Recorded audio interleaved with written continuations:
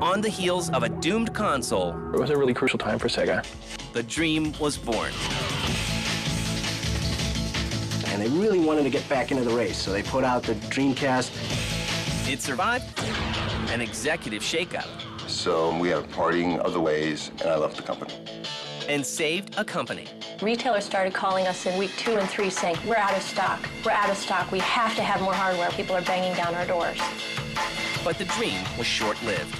And then it just stopped. I mean, it was just silent. Dreamcasts sat on store shelves. This is the story of the Sega Dreamcast. Here is a system that was ahead of its time.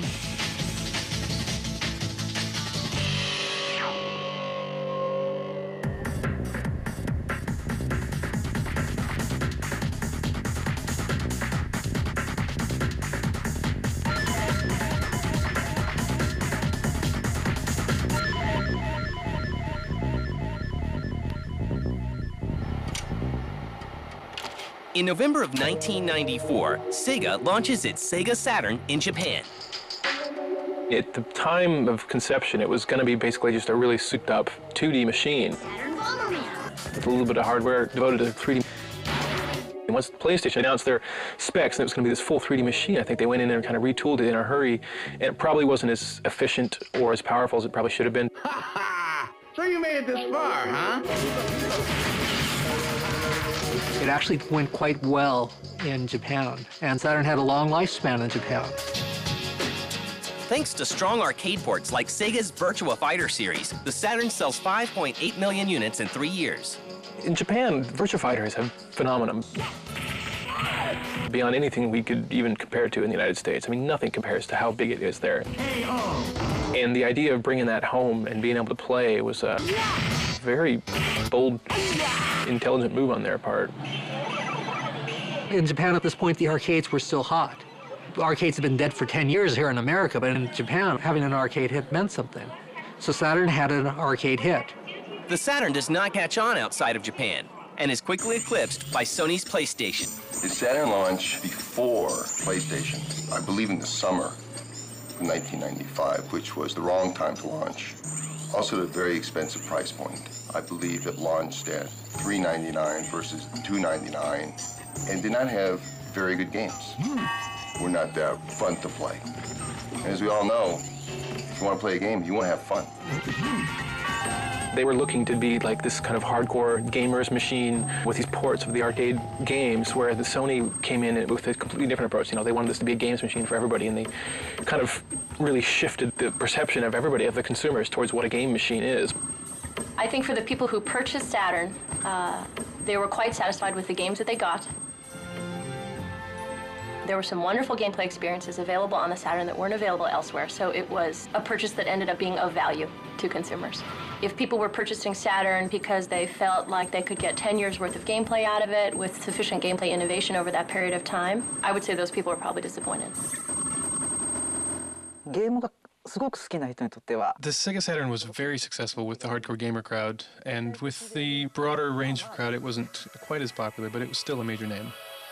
Sega was in a really, really tough position in, in that they had extended themselves, they had overextended themselves. There was a time prior to Dreamcast, just prior to Dreamcast really, as Saturn was coming out, where Sega had the Saturn. In parts of the world, they were still selling the Master System. They had Pico, they had 32X, they had Genesis, they had Game Gear, they had Nomad. So that's seven systems concurrently. They had really gotten themselves into a rut. They had completely botched the Saturn launch in North America. I believe if we look at Saturn, it was a system that shouldn't have been launched. It was too difficult to develop for, therefore the games were not fun and the games weren't there. This is not about hardware. This is about software. Software has always driven hardware. If you don't have the software, the hardware will fail. Saturn's failure causes Sega to lose $267.9 million and lay off 30% of its workforce. There was all of a sudden a couple of years where they didn't have any kind of a console at all. And since Sega was very much a, a hardware specific company, that was a very big problem. Sega's solution is to begin work on a brand new console, and this time, the Japanese gaming giant is determined to learn from its past mistakes. Well, we really had to reestablish ourselves as a company with all the retailers and gain the consumer confidence back because of the failures that Sega had. Sega hopes to win back the consumer confidence it had lost and prepares a surprise announcement for E3 in 1998. Then they had a few closed door meetings. You had to sign your life away on this NDA. You, at, at pain of death, you could not tell people what you saw for months. By the second or third day of the show, I'd forgotten all about those little NDA thingies, those non-disclosure agreements that I had signed. I needed to write something for MSNBC about what I had seen at the show, and so I wrote all about this great demonstration I had of Dreamcast behind closed doors. And then I woke up at six in the morning and realized what I had done and called MSNBC and said, no, turn it off, turn it off, turn it off, please. And they took it off, and of course Sega was furious. They were livid. The happy ending to the story was that, that my ratings on that particular article were so bad that Sega no longer cared. but granted, it only ran for three hours. Codenamed the Katana. This new system would later be known as the Dreamcast. I was completely excited at the prospect of a next generation platform from Sega because it was clear that we uh, had struggled with Saturn. The Sega Saturn was a miserable failure for Sega, and they really wanted to get back into the race. So they put out the Dreamcast way before any of these next generation systems came out. But would gamers trust Sega after all of their past failures? Definitely what Sega was trying to incorporate into the Dreamcast, what they learned from the Saturn, was uh, a broader audience. They were trying to make it a gamer machine for everybody. I mean, they were really trying to shift gears there. It was a really crucial time for Sega. But it was also clear that the company had every intent of rejoining the battle, and we were all ready to rejoin the battle.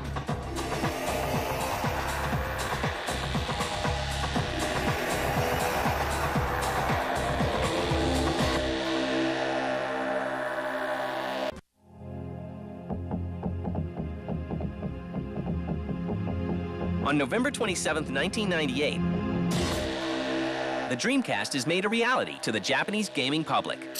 One of the key events for all game consoles is the Japanese launch. Japanese launches up to this point were something big. I mean, really big. The Japanese government requested companies to not launch their game systems during weekdays because it cut down on national productivity. Trains would be slowed down as they'd go by Akihabara, which is the electric town in Tokyo. Japanese people loved good graphics. At that time, Dreamcast was very great graphics, so everyone was excited about it. But the launch is not without its problems. Due to manufacturing glitches, Sega fails to meet shipping goals for the console.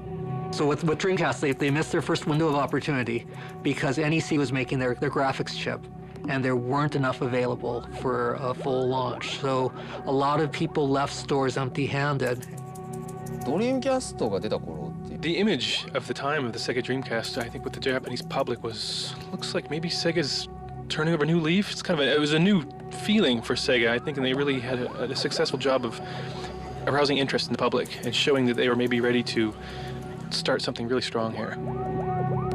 It was Sega's next big console after the Sega Saturn. The Sega Saturn was a miserable failure for Sega, and they really wanted to get back into the race. So they put out the Dreamcast way before any of these next generation systems came out. With the U.S. launch still more than a year away, Sega president Bernie Stolar takes note of the mistakes made by his Japanese partners. And I was interested in rebuilding Sega, re-establishing the strength that it once had, both in software and hardware, and rebuild a team that became a world-class team to help drive an organization. And that's what I wanted to do, and I believe that the team did that. It's not about one individual, it's about a team. What I can say about Bernie Stolar is that he did a lot of things really, really right. You compare the Japanese launch of Dreamcast to the US launch of Dreamcast, and Bernie had the publicity in place. He had the enthusiasts really rallied so that they were excited. While Sega is poised to take the US by storm, Sony is set to shake out the video game world. At every moment with Dreamcast, it was always kind of threatened by the looming shadow of this unshown thing. The, the, the shadow of PlayStation 2 always loomed large over it. みんな最初は一緒に At the beginning, everyone was very excited and behind the Sega Dreamcast, but as time went on, more and more focus shifted towards the PlayStation 2. Then, it, as early as March in 1999, just really a couple of months later, Ken Kutaragi unveiled PlayStation 2. And it was so much more powerful than Dreamcast, and it could do so much more than Dreamcast. Sony, frankly, was very effective in holding out that promise to gamers. Think to a certain extent they succeeded in convincing their existing PlayStation 1 audience not to get a Dreamcast and to wait until this mythical new system was going to appear. The Dreamcast excites American gamers, with pre-orders for the console reaching 300,000, shattering the record of 100,000 set by the PlayStation in 1995. We really had to reestablish ourselves as a company and gain the consumer confidence back. And they were very, very aggressive, pushing the whole idea of Dreamcast. There was a lot of excitement about the Sega name at that point. Less than one month before the launch of the Dreamcast, the team at Sega is dealt an unexpected blow. Right before the day itself, Bernie was fired from Sega. I didn't agree with who was at that then became my boss, Mr. Okawa. So um, we had a parting of the ways, and I left the company. Uh, it was unfortunate, but the team that I had built and the team that had really helped build the launch, they were in place. They were ready to go. They were ready to drive the product. And they did. The Dreamcast juggernaut could not be derailed, and the system launched in the US on September 9th, 1999 for $199. I think what made the Dreamcast is so great uh, are really the games. Right from launch, it had a couple really great games. It had Soul Calibur. Sonic Adventure was really popular. It had great football games with uh, Sega's NFL 2K series. There's the snap. Favre passing for the score. One of the other things that made the Dreamcast so great is the online feature. Out of the box, this came with a modem, this system. Immediately, you could be getting on and, and playing against other people across the country, and that was a real novelty back then. Just four days after the US launch, Sega reports selling 372,000 Dreamcasts and bringing in over $132 million. The launch was successful. Sega was successful. And it regained the confidence of both the retail community and the consumer. We knew the Dreamcast was a tremendously successful launch when retailers started calling us in week two and three saying, we're out of stock, we're out of stock, we have to have more hardware, we have to have hardware, people are banging down our doors. Sega tried to do all the things that they had done wrong with Saturn, right with Dreamcast. Saturn was very miserable to program. Dreamcast was a snap to program. Saturn had a very old-fashioned controller. It was really just a Genesis controller, still at the kidney bean shape. Dreamcast had a newfangled controller. They really looked and tried to do everything different. And that side of things was really good. But would it be good enough to hold off the PlayStation 2?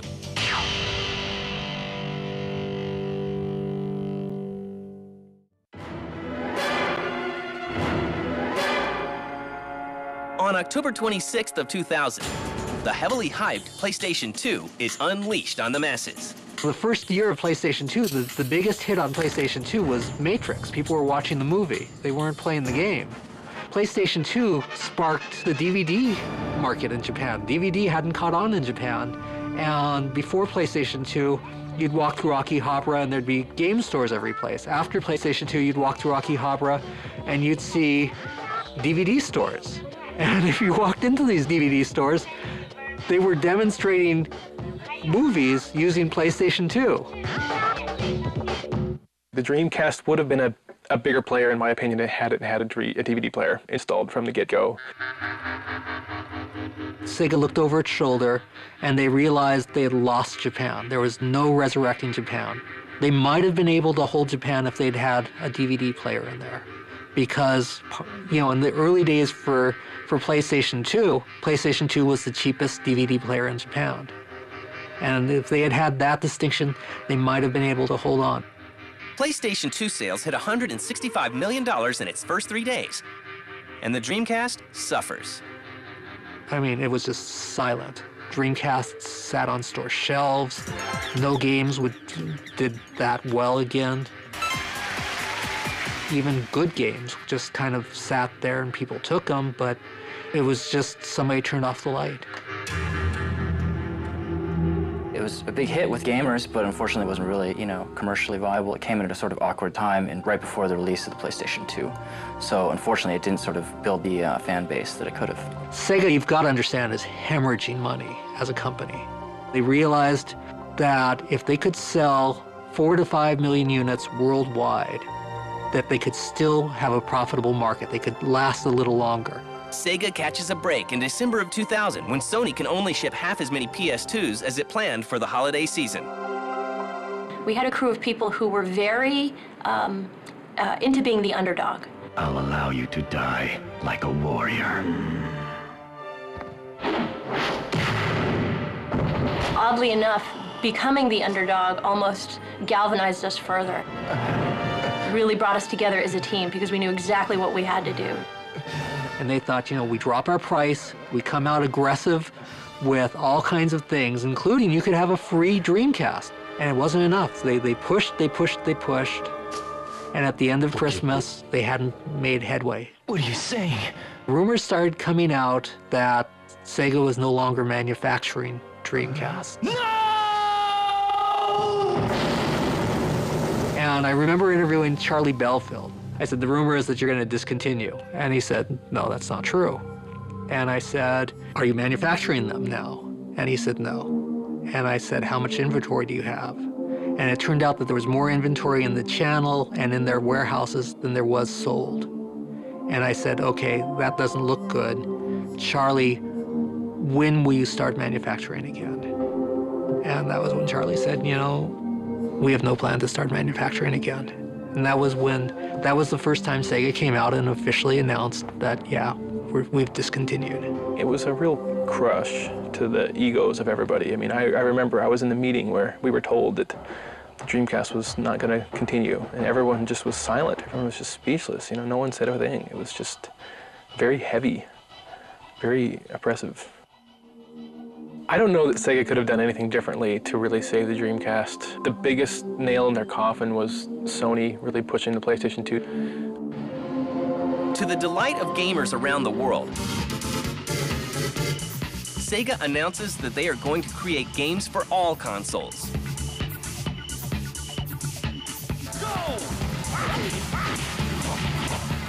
I think it was a time where Sega really had to address itself and say, are we going to now just be a software company? And if we are going to be a software company, is the team that we have here going to be one of the best organizations to build great software? Because that's going to have to be our focus. Come on, let's begin. And that's going to have to be our drive. And that's how we're going to be able to survive. Go!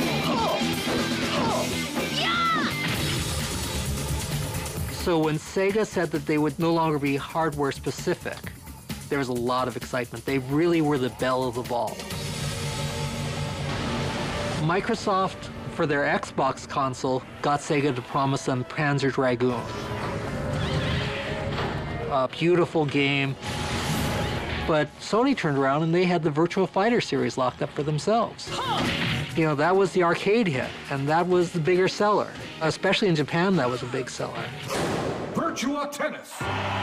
There was a very committed Sega fan base right up till the end of Dreamcast that very much appreciated the Sega style of gameplay. As we transitioned from a hardware company pushing the Dreamcast platform to a software developer, we were able to successfully convert the Sega fan base to other hardware platforms via our games. We were able to explain to gamers, yeah, you can still have your Jet Grind radio. Oh, yeah. But it's just going to happen on these other platforms, but we promise you it'll be the same exact wonderful gameplay experience. And Sega gamers came along with us. But the Dreamcast will live on in gamers' hearts and memories. If you picked up a Dreamcast, you were holding something that felt like a gamer's machine. It felt like it was made for games. Without a doubt, the Dreamcast showed the world that online gaming was possible and fun and interesting on console. So there's no question with respect to online gameplay, Dreamcast will be remembered forever. Dreamcast was something special, uh, mostly because, uh, you know, it came from Sega. So the games that really were released with it, especially at the beginning, were some of the best games of the last generation, or even this one. I've been in this industry a long time. I've seen a lot of hardware companies come and go. Dreamcast will always have a position in this industry from a historic standpoint.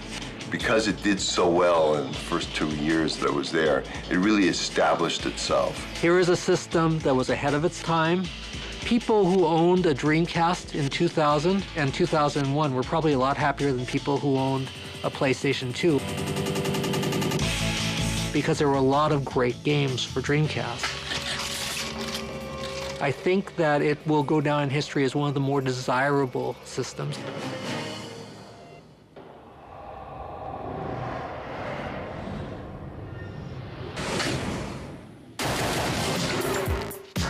It all started with Easter eggs. Before you know it, I couldn't get enough of God mode. When I don't punch him in, I, I get a little weak. I thought you were supposed to go backwards in Pitfall. I can't even make it through two levels without infinite ammo. I can't remember a time when I didn't use codes. They made up the codes. I just used them. No one's gonna find out.